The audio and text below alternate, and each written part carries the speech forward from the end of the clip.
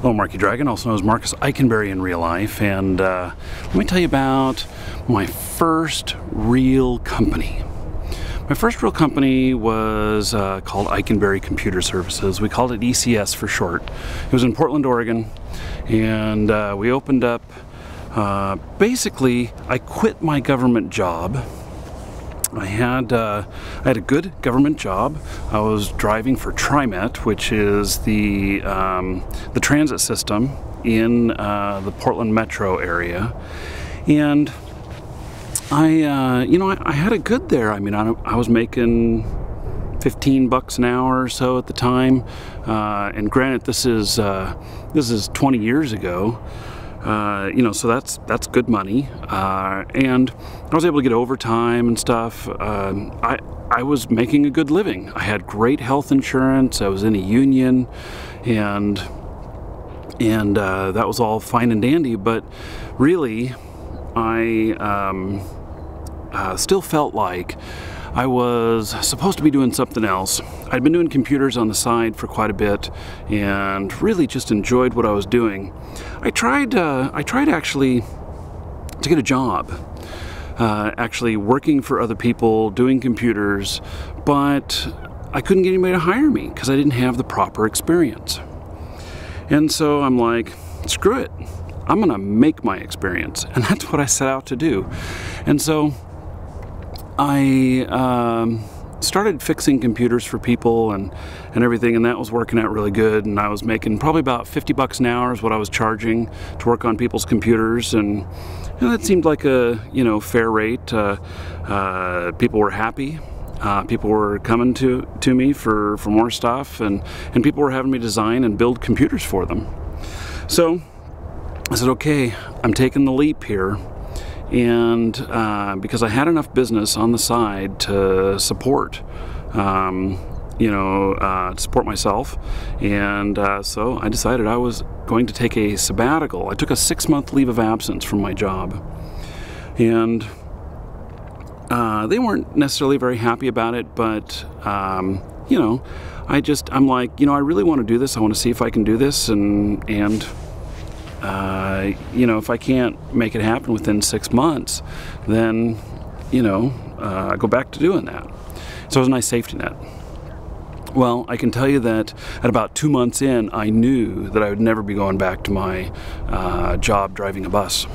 And we just had, got an explosion of business. We opened up this shop, uh, rented this place, uh, and it was, uh, um, you know, it was on a pretty busy street and everything. We figured out our advertising. Uh, we were in uh, Computer Bits magazine. Uh, we had uh, a full two-page spread in there, and we, um, you know, we're, we're doing quite the business. I can tell you though that uh, I didn't have a whole lot of real business experience.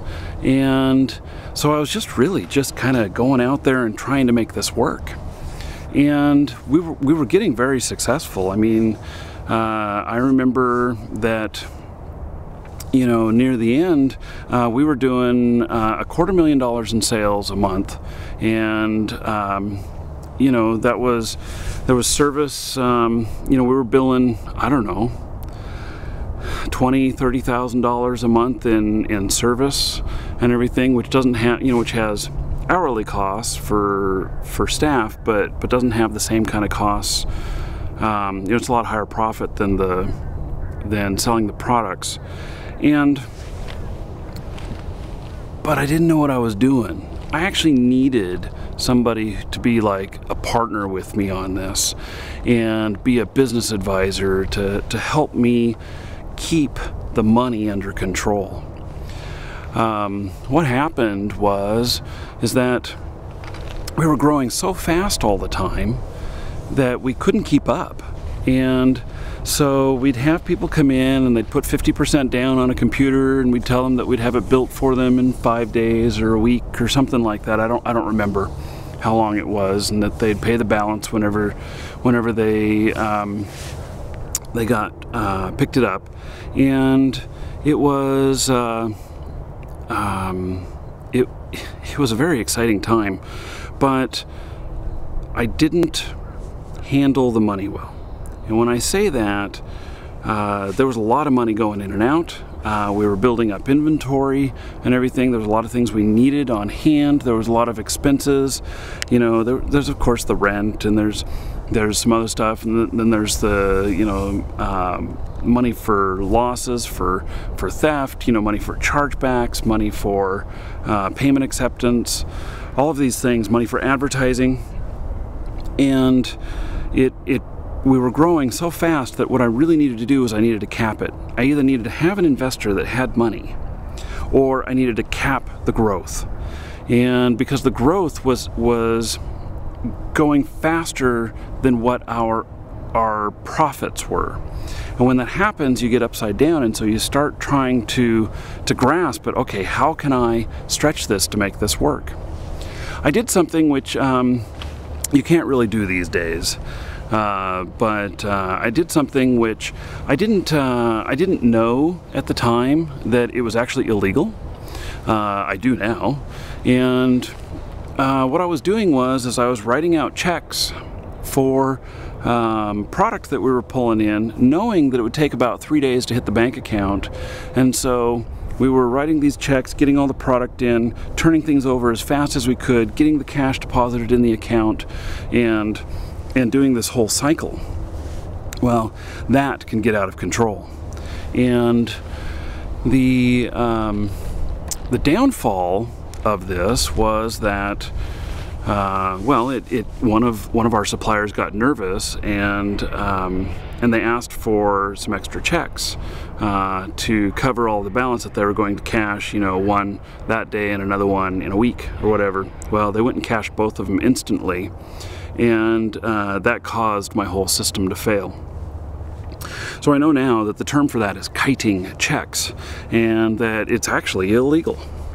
Uh, I didn't know that it was illegal. I, you know, didn't intend on anything bouncing and everyone did get their money. It's just that the money was in float. You know, it was, it was in process of transferring to, and every time we would take like a credit card, it'd take like seven days to hit our account and everything. And so that, um, that, that was a big lesson learned with that. Um, also, you know, I learned some other things, other things with this, which is one is is that customer good customer service can go a hell of a long way, and that is, you know, to this day one of my mantras. We did, um, we we tried to do the best customer service possible, although I was very naive back then and I didn't know a lot of the things that that were important to customers. Um, and you know, I was just like, okay, well, we're just doing this and this and this, and I think that's what everybody wants. And and really, I wasn't listening so much to the customer. Uh, you know, as you encounter each problem with the customer, you learn more, and then you adapt. And uh, so that's one of the main things that I learned in there is how important the customer is. Now, we also did a lot of stuff with like cost plus 10%, and we did um, some other things that just caused these mad sales to happen. And it was all really great and stuff, but uh, I now believe that uh, doing sales or doing uh, you know subsidizing uh, prices or or um, you know trying to lowball things is not the best way to go. And uh, because in order to have good customer service, you need to have uh, the funding for that. Uh, it takes time to to actually you know deal with each person and deal with them properly to their satisfaction. And if you're cutting margins really thin, well then you have issues of not being able to keep up. And, uh, you know, so if you're not making enough money and you, and you, can't hire the proper staff and everything, then your customer service fails. Um, or you go in the hole. So, uh, one, of the, one of the biggest things I learned. Uh, also, you know, I, I, learned that you have to. Um, you have to not be so arrogant. You have to not. Um, uh, uh, you have to not piss off your suppliers and your competition.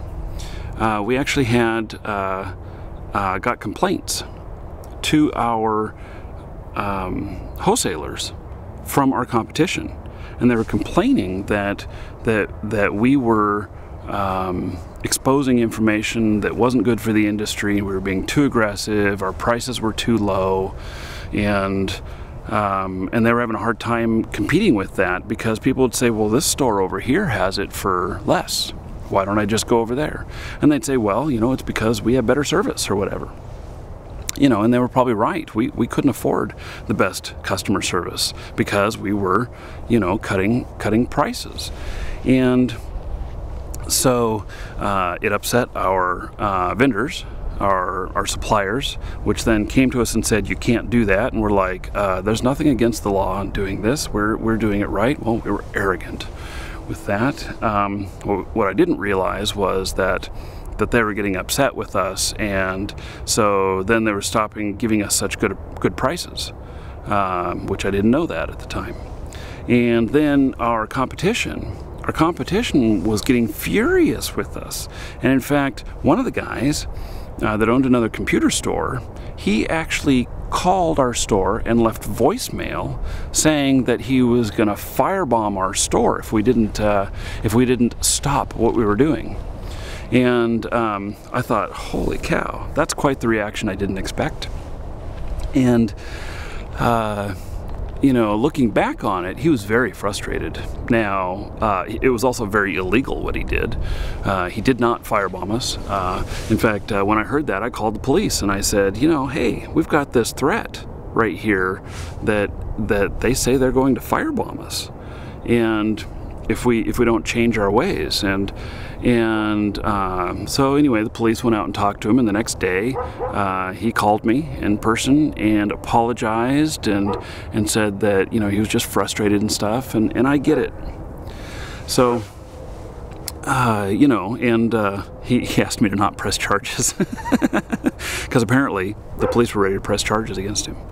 So, anyway, that was my first uh, retail experience actually owning it, and uh, it was very hard. Lots of long hours, which I've learned as part of being an entrepreneur, and lots of lots of work.